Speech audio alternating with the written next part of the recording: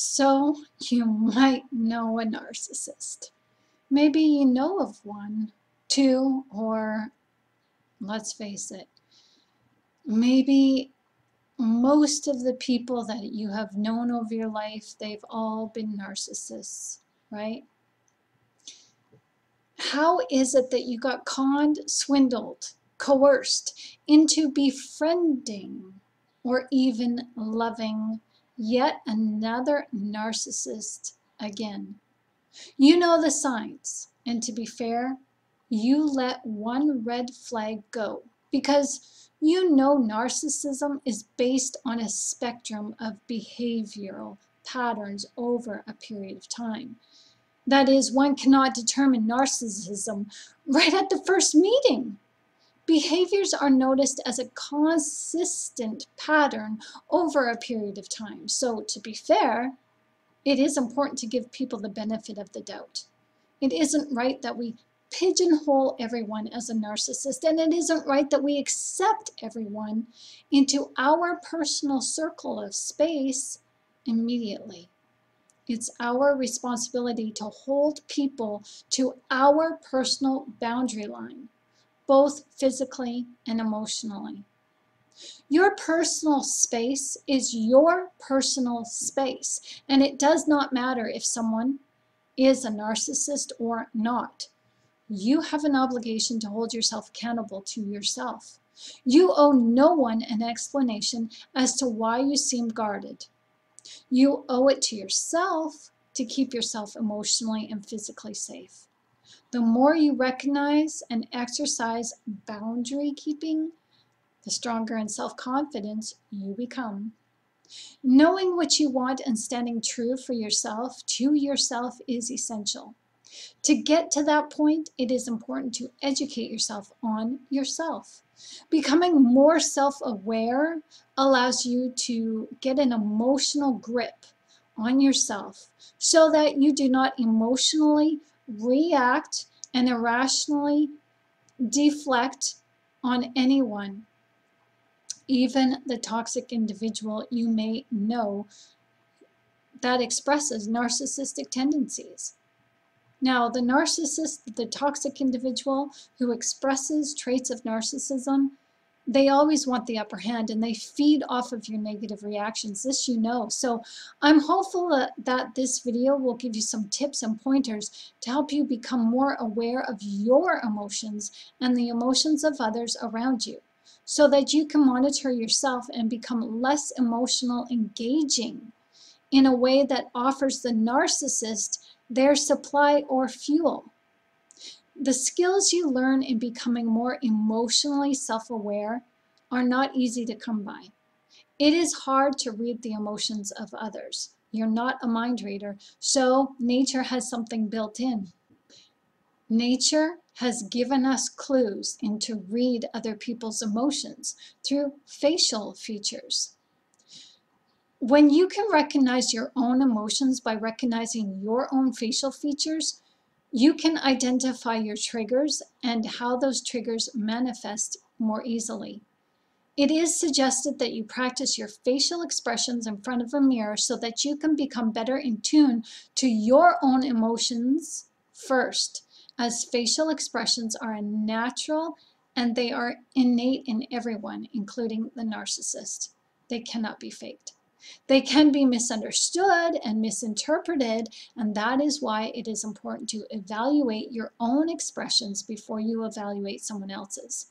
These skills, once you begin to see them in yourself, you will become more aware of them in others as these skills allow you to, number one, Become consciously aware of how you are becoming emotional. By recognizing your triggers and your thought patterns before you verbalize or act on your emotions, this allows you to develop the skill set to make conscious choices about how you want to handle yourself in turbulent situations and with emotional people.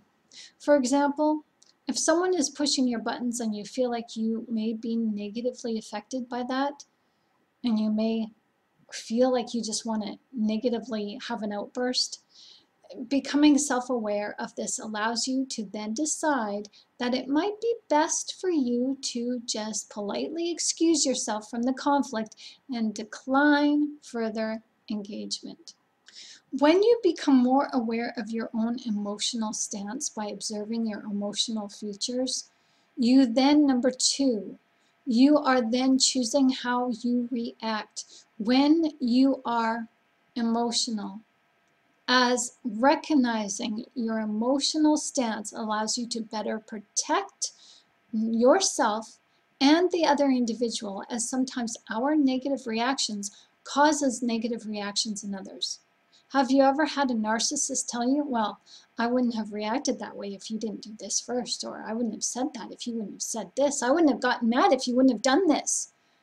This under, Understanding your emotional stance by looking at your facial features allows you to see the triggers and feel them rising up in your own person to head the conflict at the pass and not engage in the narcissistic tirade so much as the narcissist in their anger tries to minimize the initial cause to your reaction and instead they gaslight you further to react to them.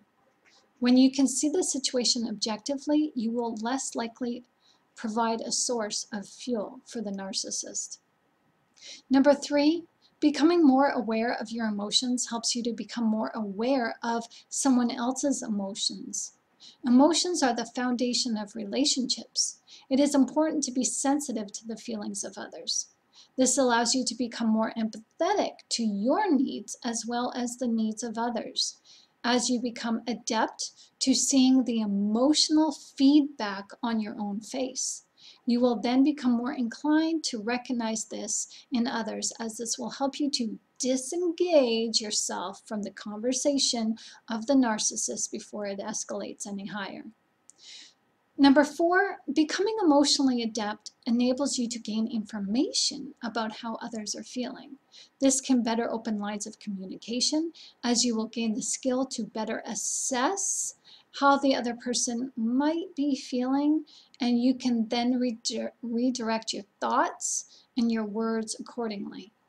So understanding what your emotions look like and recognizing the universal patterns of emotions shown on the face will also help you recognize the raw emotions of a narcissist that cannot be faked.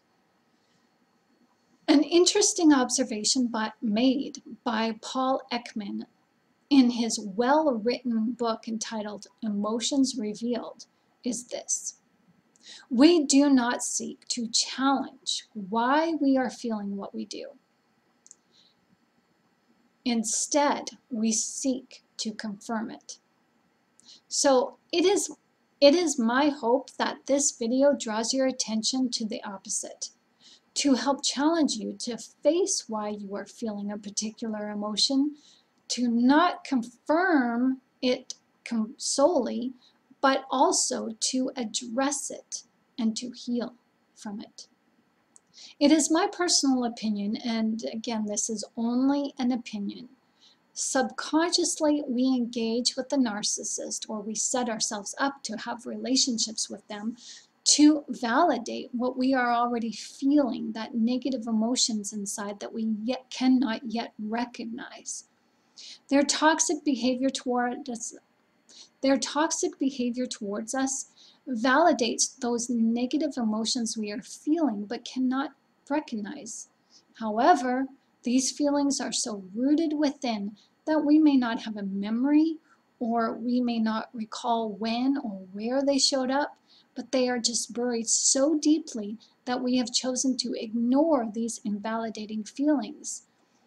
But our subconscious knows otherwise. So I'm going to go on a limb here and further suggest because I like thinking deep into our spirituality, that the narcissist attacks us verbally, and we take that in through our consciousness, our awakened awareness. And setting aside all the symptoms of trauma that we react to with the narcissist, this might be only just one reason among the many layers of reasons why we do disagree with the narcissist and negatively react because we are consciously aware that we are not who they assume we are. However, subconsciously, there might be a slight truth to what they are saying because we have been imprinted with the narrative before from a traumatic childhood. We may not remember when or where it happened, but it is there. We are emotionally attached to the narcissist, and this might be why we can't let go, among other reasons why we can't let go. Because they validate who we subconsciously believe we are. However, when we give it some thought and recognize who we truly are on a conscious, waking, thinking level, they do have us all wrong. And that might be one of the reasons why we negatively react to their emotional negative outlook towards us. So helping ourselves to look at ourselves emotionally through our facial features and the way we feel inside, that's not a bad thing. Subconsciously, we love the narcissist, but consciously, we hate them. Our subconscious needs them to validate what has already been imprinted in us on a negative way. And yet our consciousness can't stand to get away from them. If I'd like to know what you think about this concept in the comments section below. Again, this is just a thought theory, so don't take it to heart. It may make a bit of sense or it may not. And for me, it makes sense, especially when we allow ourselves the space and time for self-reflection and journey down the road of self-awareness and self-awakening. This theory is just something to consider. I'd like to hear your thoughts on this, this though, so if you can add to this or you have something else in mind, just let me know. When we are not aware of our own emotions and our emotional reactions, we are asking someone else to validate or justify these emotions when we engage with them with emotional intensity that causes them to pull away or bend to our ways of thinking or doing things. This is ultimately what a narcissist does, and this only prolongs the negative emotions within us.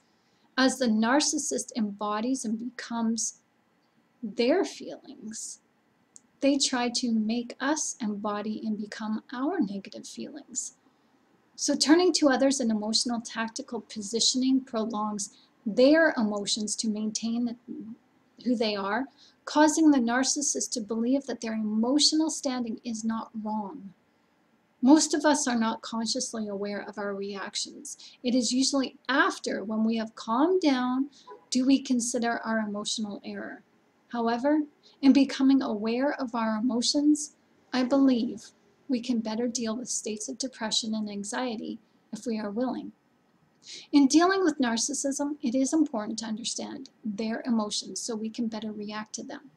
This is not about absolving them of their guilt, nor enabling the narcissist. This is about better understanding them so you can shift your focus onto you to better understand to better understand you. As you learn of ways to better manage your emotions, you will also come to understand how not to give in to the narcissist's emotional demands by not taking what they say or do personally. Understanding and recognizing your emotions on an intimate level allows you to not absorb the toxic behavior of the other person. You learn to disengage as you learn not to personalize their reactions of their perceived reality. Paul Ekman, in his book Emotions Revealed, also offers this insight. We often distort others people's motives to fit our emotions. This is what the narcissist does, and it's, it's what most of us do. When we understand the narcissist's motives, we can then better react so that we do not turn to them to validate the way that we feel. We then can also not allow them, the narcissist, to use us as fuel to validate the way that they feel. As I mentioned before, emotions are often shown in body language, particularly the facial features. So let's look at two potential negative facial features to help us define these emotions within us and the narcissists that are often expressed. Now, I'm using Paul Ekman's book for reference. I am not an expert. I am learning as this book has been an invaluable source for me as I learn about narcissism and to better deal with my own feelings and emotions that help me heal from narcissistic abuse. This has led to a personal self-awareness journey. So when you read this book, I encourage you to read this book. I recommend this book as it may be an invaluable tool for you. Now there are two main negative emotions that go overlooked, and these are contempt and disgust. Now contempt is the feeling that a person or thing is beneath consideration. They view the person or that thing as worthless or deserving scorn. Disgust, on the other hand, is similar to contempt, as it is defined as this a feeling of revulsion or strong disapproval aroused by something unpleasant or offensive. When someone is disgusted with something, you will see the nose wrinkle. This can be mild to severe. The sides of the nose along the bridge are pulled upwards. The eyes remain relaxed. When someone expresses an extreme form of disgust, the upper lip will raise, either on one side or both sides. Contempt is similar. However, usually just one side of the face is revealed and usually it's the dominant side. So I'm a right-hander, so I'm usually I sneer on the right side of my face. The nose wrinkles in contemptuous emotional behavior and the lips can raise, or the lip, the one-sided lip can raise. Sometimes the lips are pulled to one side, but they do not raise upwards in a sneer.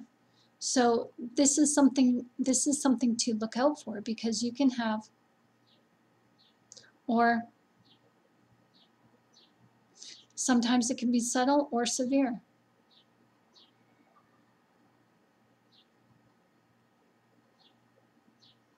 The combination of contempt and disgust will see that the lip is raised, the nose is wrinkled, and the eyebrows, the eyebrows now will become involved, and they will pull together and the eyelids become slightly raised.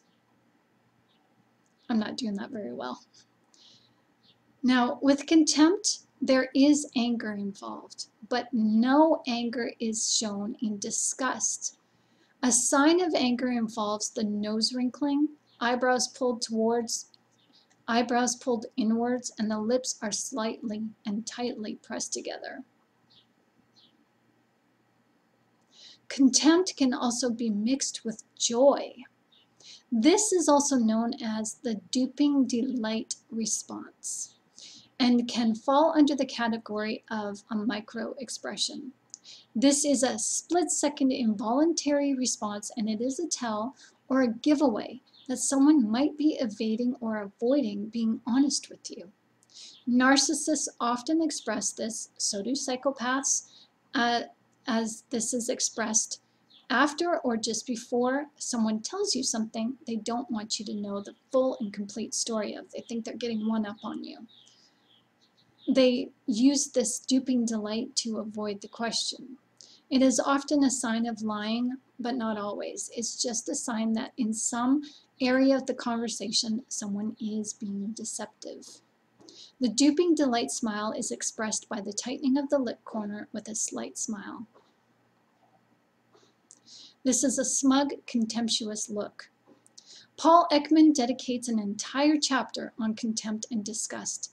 While disgust is experienced with a sense of taste, touch, and smell, contempt usually accompanies a sense of superiority to the person or offending thing. One can feel contempt for an individual as their offense is degrading, but one would not necessarily find them disgusting and need to get away from them. Disgust can lead to unpleasant sensations in the body, such as nausea, whereas contempt leads to anger. Because of what contempt is, and let's face it, a narcissist is a contemptuous person. They project their anger from their historical trauma onto us. It has been a question that narcissists suffer from anger issues, and that they do. Narcissists are extremely volatile when it comes to having anger issues. However, that is not to say that they suffer only from anger issues. What we see in narcissism is their ability to get angry very quickly because their anger resides just below the surface. It's waiting to come out as it just needs a reason to come out and it's there. Disgust and contempt are, are also very real emotions to a narcissist, and they are used as a form of control and manipulation. No one wants to be held in contempt of another person, and no one wants to be considered disgusting. So we do our best to not offend the offended person, right? And this is how the narcissist can better manipulate us because we sometimes want to people please. So using contempt and control, or so using contempt and disgust as a forms of control is manipulation. And they emotionally manipulate us. They gaslight and strongman you into bending to their will. Disgust is often confused for anger. And because of this, Paul Ekman concludes that disgust can transition and become anger. When you are on the receiving end to someone's anger and disgust, it is important to not to try to defend yourself. Defending yourself enters a justification, a reason why you did what you did or said what you did, or said what you said. To the narcissist, defending yourself invalidates their reason for feeling the way that they do towards you, and they will fight you in a way that makes the situation much, much worse. Do not engage with them. Instead, tell the individual that you recognize that they are angry or hurt. However, right now is not a good time to talk as you are stressed and you need to collect your thoughts. Engaging with them will only allow them to use you as their supply. Do not take their anger or disgust personal, as this is within them, as the underlying issues are triggered to surface immediately as soon as something go, does not go in their favor. The narcissist is responsible for how they treat you. However, in this video, I would like to make it clear how important it is for you to take responsibility for the way that you treat yourself. Becoming your own advocate is essential in healing from trauma and all things narcissism. I hope that this video has given you some insight into the dynamics of human behavior as we are fueled and led by our emotions. We have a choice to allow our emotions to have mastery over us or we can choose or we can recognize them to heal of the hidden triggers so that now we have mastery over our emotions. So if you like this video, please give it a like and a thumbs up. Comment down below and I will see you next time. Thank you for watching. My name is Shannon Gilmore. Be blessed.